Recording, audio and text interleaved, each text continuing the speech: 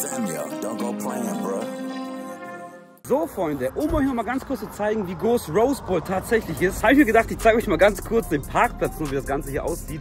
Darum habe ich euch immer gesagt, Rose Bowl Flea Market ist einer der größten Flea Markets, die es äh, hier gibt. Und der ist geisteskrank riesig. Da hinten ist das. Wir gehen gleich mal hin. So, Freunde, habe ich euch enttäuscht von der Größe? Ähm, ich habe es geahnt, Ja? aber wir werden sehr, sehr gleich überrascht werden, glaube ich, was die Menge der Menschen angeht. Ja, ja, es ist hart. Wenn du die Autos hier anguckst, Ja, das ist. Guck mal, du fährst hier, du fährst hier die Straße entlang. Es geht hier bestimmt noch mal ein Kilometer noch nach hinten. Da, ey, später wird hier alles voll sein, ne? Glaubt ihr mir gar nicht.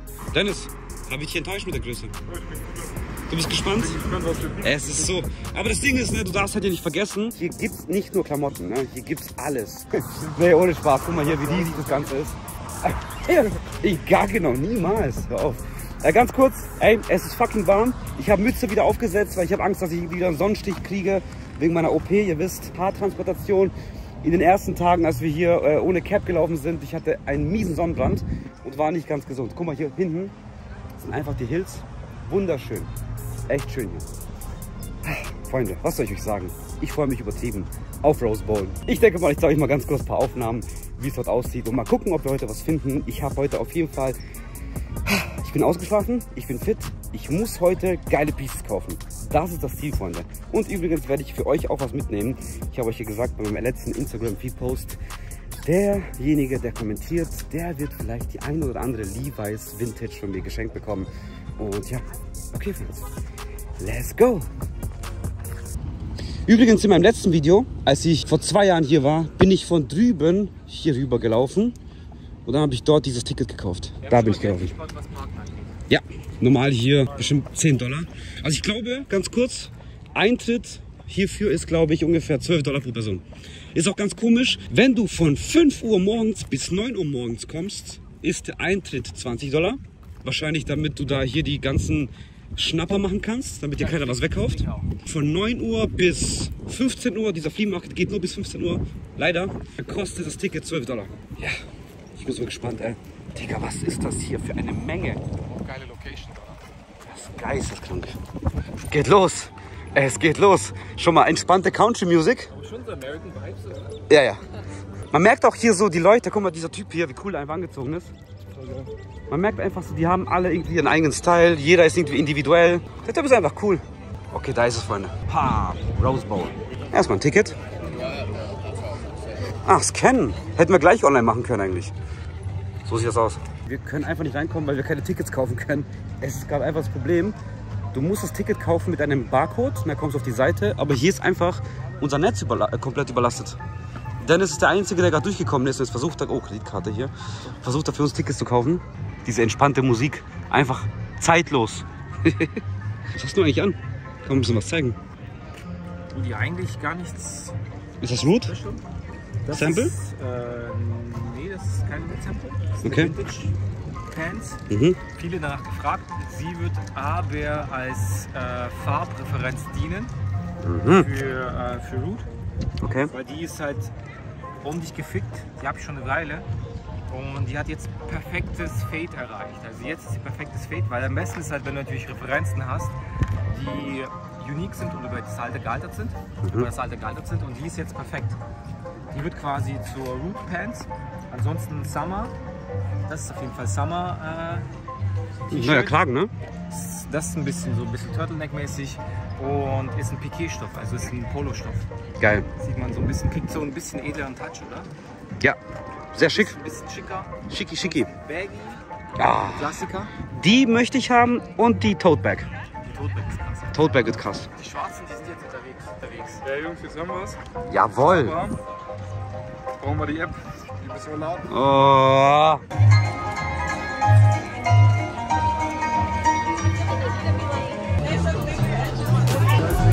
Yay.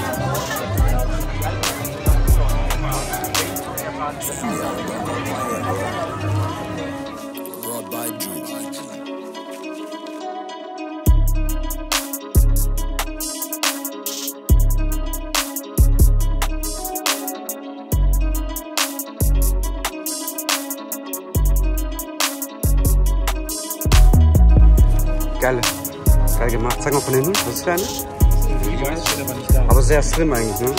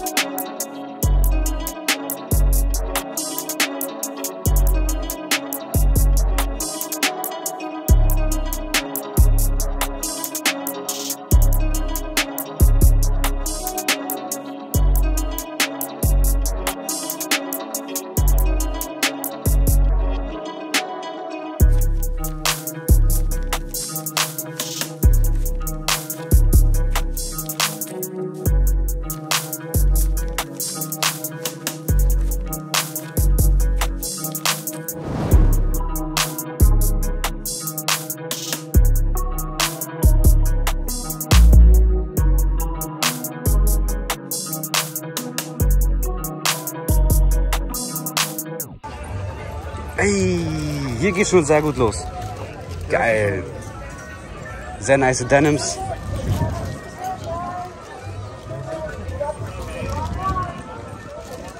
Oh, Vintage Hilfiger. Wild. Geile Bleichung. Ich habe übrigens auch eine, ich habe eine Hose gekauft, eine Dickies. Sehr wilde Waschung. Oh. Boah, die ist sehr, sehr schön. Crazy. 100 Dollar. Oh, oh. Auch sehr wild. Show. Nice.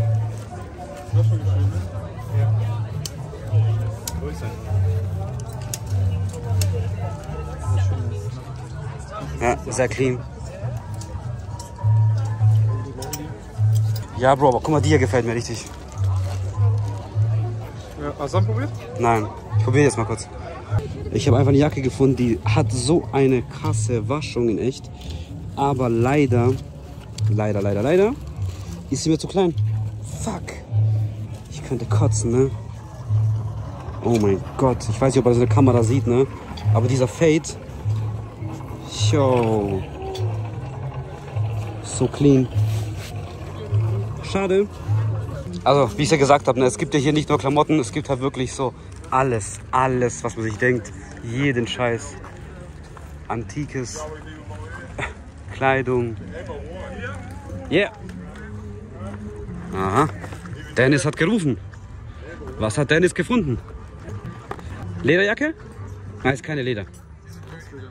Kunstleder. Packers. Die sieht gut aus, Bro. Die, nee, die sieht gut aus. Die sieht echt gut aus. So, ich habe schon was gekauft. Ich habe einmal äh, diese Dickies hier. Sehr hart distressed. Mir gefällt sie vor allem von hinten. Was sagt ihr? Sehr gut aus. Wasch, Farbe. Farbe ist, Farbe ist geil. Vorne ist halt einfach ein bisschen zu viel Ja, Rip. ich feiere trotzdem. Ja. Dann habe ich eine übertrieben krasse Dickies-Jacke gekauft. Etwas crop geschnitten. Die ist nice. Mann. Die ist hart, ne? Guck mal, diese Waschung. Krank. Ich extrem. Feli, Feli. Und, äh, für, Fam- für Familie, für meinen Schwiegervater. Georg, Grüße gehen raus. Einmal dieses Kali-Schild. Ähm, ansonsten, Dennis, sag mal du. Mit Packers-Jacke gekauft.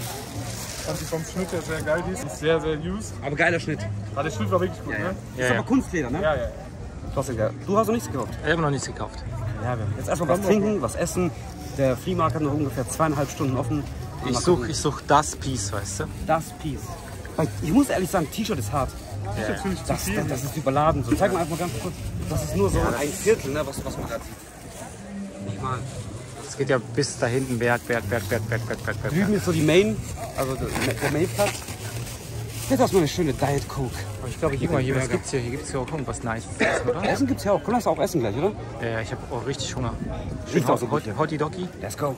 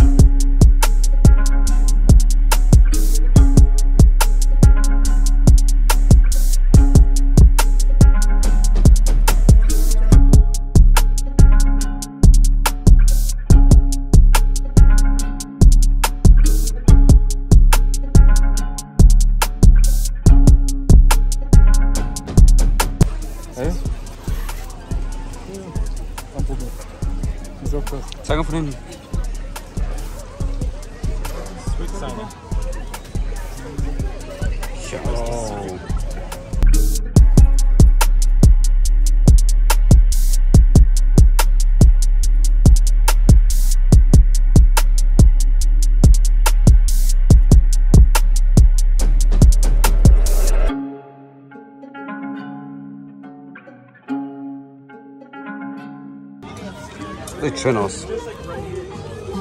Geiler Fade vom, äh, von der Waschung. Ja, ja. Ja, gesehen. So, bei meinem neuen Pullover habe ich dann genau das da. Ja? Ja, coole Taschen. Okay. Dann hier im Nacken so ein bisschen. Wir sind bei den Basics. Und ich habe so ein kleines RA reingestitcht.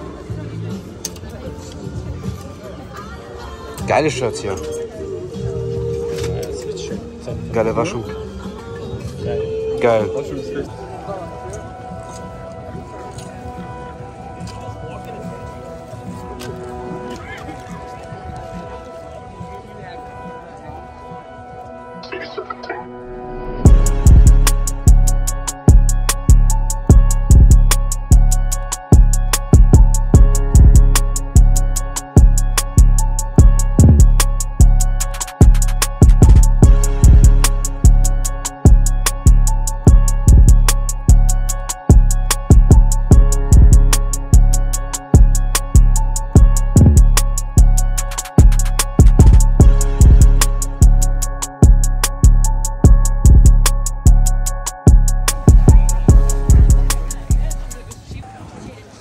Okay, unsere Area, Bro.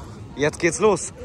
Jetzt geht's los. Wir sind schon seit über eineinhalb Stunden da und das ist so der Vintage-Bereich, der tatsächliche mit dem Vintage-Stuff. Jetzt geht's schon mal hier. Ey. Übrigens habe ich hier was Nice gekauft. Ne? Guck mal das hier an. Oh.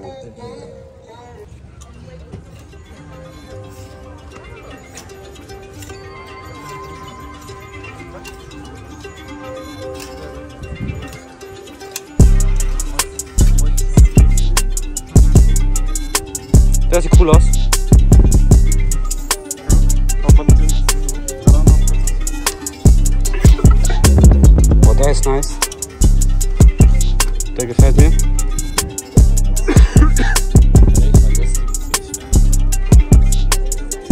Ich häng's mal kurz hier hin. Yay. Yay. Yay. Wild. Sehr schön. Wow. Das ist hart. Das ist hart.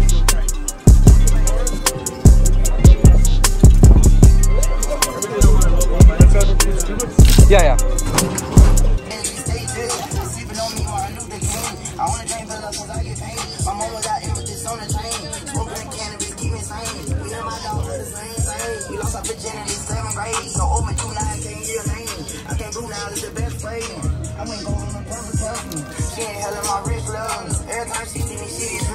I keep you the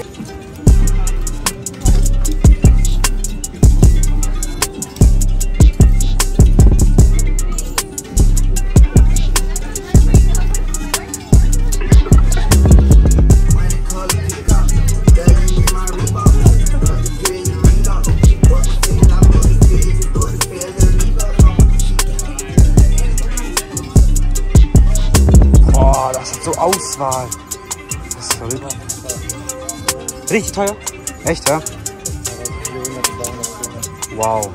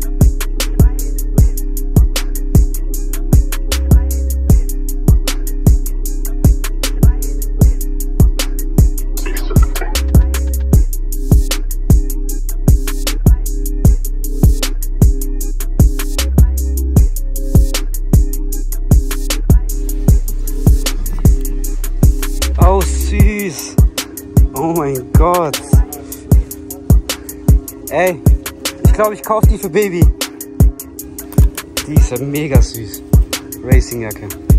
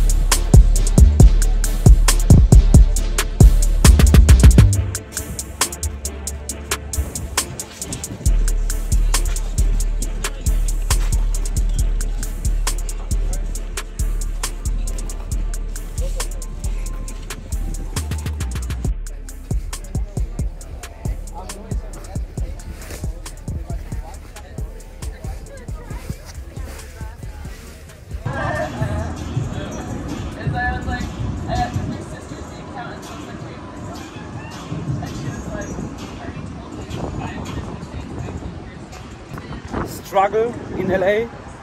Wir haben big problems, big issues gehabt. Ähm, wir haben Koffer gesucht. LA Koffer kaufen, Pain des Todes. Also entweder kosten die gleich mal irgendwie so 150, 200 Euro oder Dollar, was gar keinen Sinn ergibt. Jetzt sind wir hier nach Downtown gefahren und haben uns erstmal so etwas, ja, die etwas günstigeren Varianten an Koffern gekauft. Ich bin mal gespannt, ob die Koffer das überhaupt aushalten. Ich zeige euch mal ganz kurz. Wir haben wirklich billig Koffer gekauft. So. Ich bin mal gespannt, ob das klappt hier. Übrigens, mein Gepäck. Yay, nice. Nice.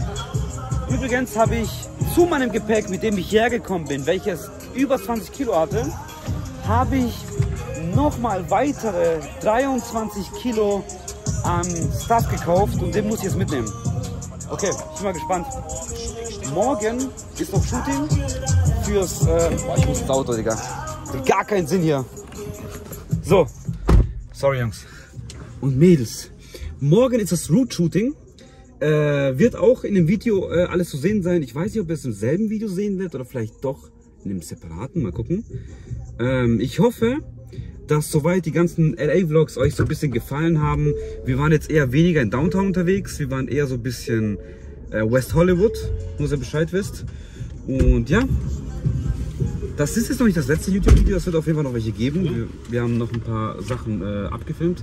Ansonsten, Bro, Wir haben auf jeden Fall noch ein bisschen von hinten rumzufahren. Ich habe ein Poster bekommen, sehr geil. genau. Ich habe noch geplant, mit Eugen und mit Dennis so einen kleinen, so einen kleinen Talk zu machen. Also eigentlich war ja geplant auch bei dir ein Podcast. Also wir werden wahrscheinlich einen Podcast aufnehmen, aber wir lassen die Kamera laufen. Ja, Dadurch könntest du wahrscheinlich so ein bisschen was rausschneiden, ein paar interessante Parts. ja oder so. oder Genau. So, Ja, wir gucken mal.